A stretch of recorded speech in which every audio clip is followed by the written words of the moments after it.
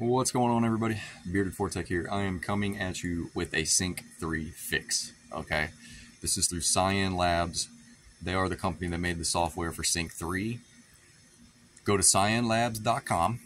Okay, you're going to need a USB formatted to the uh, FAT32 system. Okay, go to cyanlabs.com. You're going to need a 32 gigabyte USB drive, like I said, FAT32 system. You're going to enter your VIN on the website and it's going to tell you everything that's going on. Answer all the questions that are on there and fill everything out completely. Once you fill everything out completely, you'll see a toolbar on the right hand side. When you scroll on that toolbar, it's going to verify the USB to make sure it's formatted like it's supposed to be. Once you do that, you're going to click at the bottom. It's going to be RW, uh, Romeo Whiskey, Data Cleaner. It's going to be at the bottom.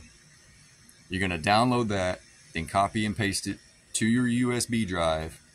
Once that is done, you go out to your vehicle, stick it into the USB slot, and let it download.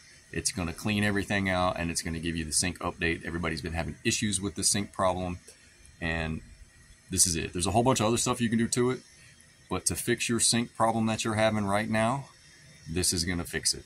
Okay, it's Cyan Labs. I'll leave the link to Cyan Labs down in the description. I hope this helps you guys out. I've been getting a lot of emails about it. And so basically, what was going on is there was a corrupted file in the sync update. So this is going to fix you. You can do it at home. You don't have to go to the dealership. You can do it at home. Any questions? Leave me a comment. I love you guys.